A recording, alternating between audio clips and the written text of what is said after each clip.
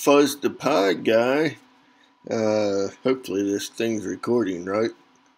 I've been using QuickTime for a couple of my videos and having problems with the audio cutting off, so I figured I'd jabber something here for a couple seconds. Anyway, I'm going to show you how to set up a Raspberry Pi uh, with some software so you can uh, turn your Raspberry Pi into a uh, Pi Fox, a fox hunting software for uh, amateur radio, ham radio. Now, the issue is this software only works on like a Raspberry Pi Zero, the and the Raspberry Pi B, B Plus. It probably won't work on a two, a three, or a 4. I know it definitely don't work on a 3 or a 3B plus. and it doesn't work on the 2. So I'm pretty sure it probably won't work on the 4, which is definitely overkill for this. But what we're going to do is we're going to use this software and there's two different ways you could use it. You could use it and transmit off the GPIO 4 of the Pi, or you could hook up an actual radio to the Pi and use Vox. But we're not doing that. I had issues in the past with it, and the easiest way around it, obviously, is just use GPIO4. Obviously, the transmit power won't be near what a handheld could do, but it does transmit pretty good if you hook up like an external antenna. So we'll go ahead and update some software here. Then uh, this doesn't take long to install the, uh, I'm running this right now on a Raspberry Pi Zero, so it will be a little bit slower. but uh, I was doing this earlier and I couldn't get it to work, and I'm there thinking what's going on, and I totally forgot this software don't work on a Raspberry Pi 3. So now that we have an update, I mean, you might want to do an upgrade, but I'm not going to worry about that. We need to install, make sure we have Git, and we also need to install the following software also so it can communicate. So we'll let that do its thing. Uh, this works out pretty good on a on a uh, Pi Zero. It's nice and small, lightweight, nothing big. And the nice thing is, once you have it all done and set up, you don't even really have to use a uh, Pi Zero W. You could just use the original uh, Pi Zero.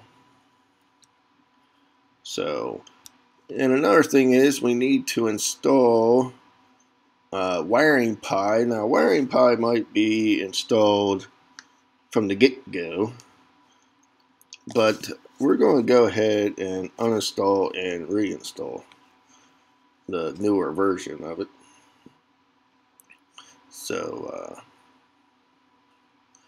once that's done, we will uh, move on.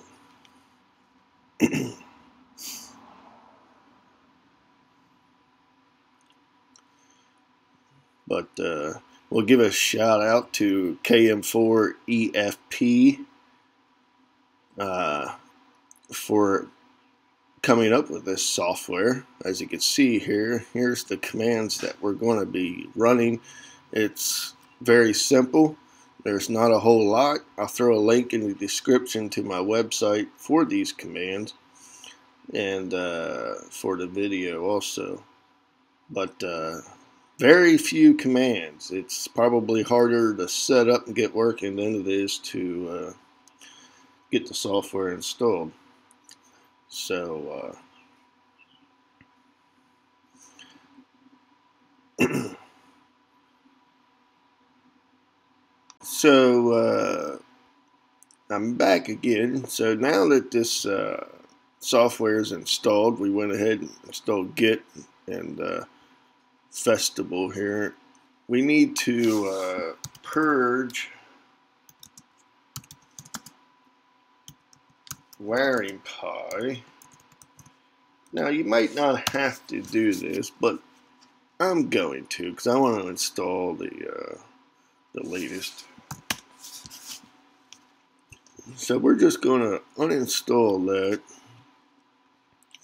Then we're just going to move over to here. And we'll copy that guy. Throw that back up there. and we'll go ahead and download that.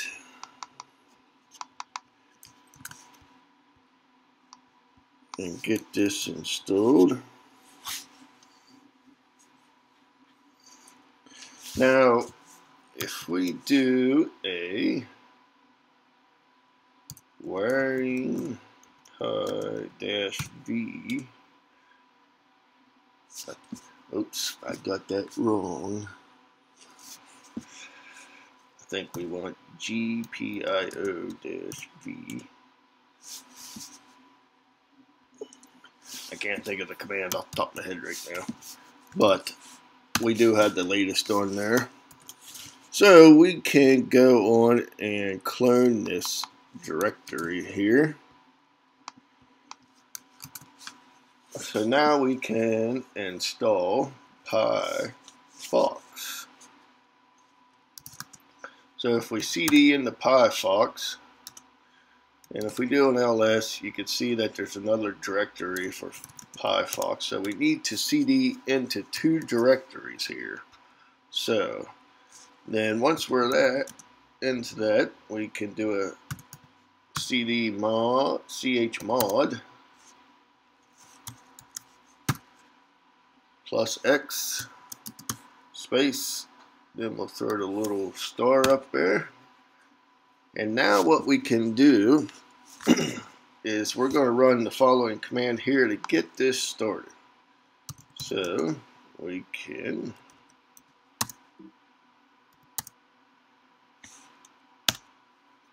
now it comes up.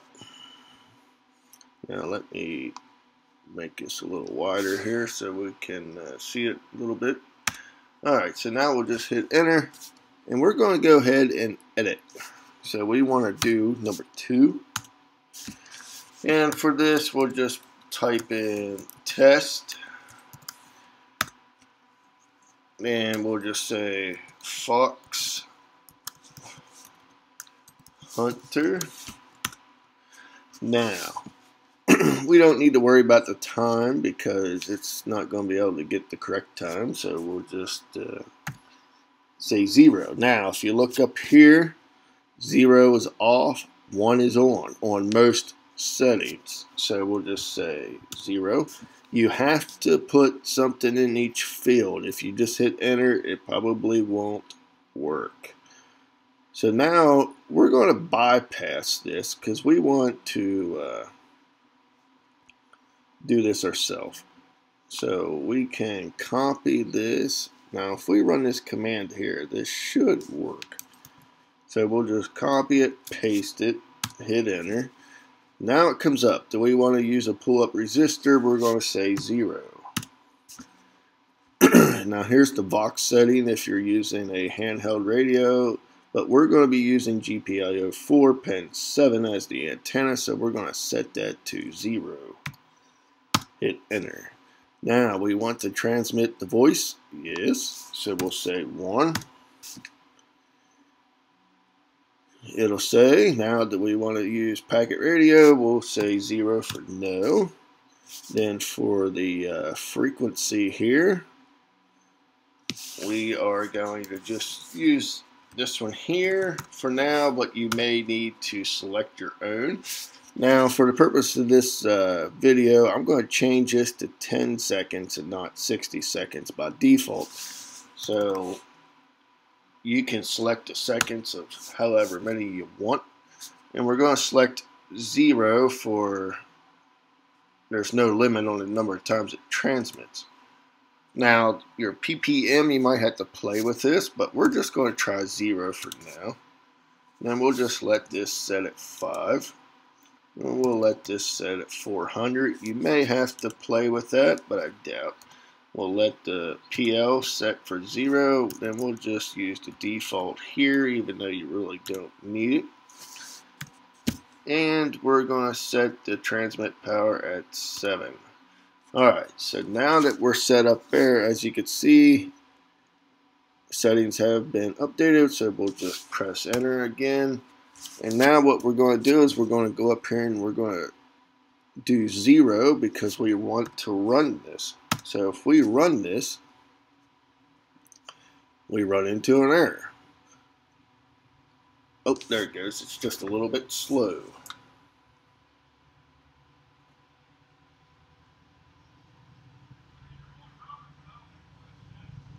So,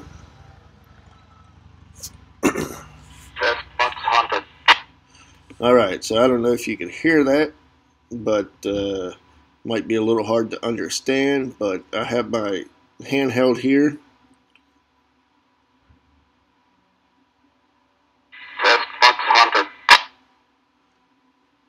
As you can hear, it's uh, transmitting what we are saying. So uh, it's working. So what we can do is, and it's saying obviously, see there we go, it says text, yeah, test Fox Hunter, you can have it, you know, obviously your call sign and whatever you feel like for it to transmit, but we'll play this one more time. Okay, so now that that's done, we're just going to hit cancel because what you can do is if you want to run this on on boot, you can just select 4 and if you need to change the settings again, you can uh, select 2 if you want to display your current settings, we'll just type 3. And as you can see, here's the settings that we chose. But like I said, you might have to uh, change your frequency. You might have to change uh, your PPM, but probably not. And if you need to change your milliseconds here. So we'll just hit enter to go back to the menu and like I said you can just automatically start this at boot by pressing 4 and enter. And uh, we should be good to go. So if you need to get out of the program you can just hit 6 and you're back to your directory hopefully this helps out and uh, thanks for watching stay tuned for another one don't forget to hit the like share and subscribe button and uh, it helps me out a lot and it makes me want to keep making videos for my subscribers and the people that appreciate the things that I do. So, thanks for watching.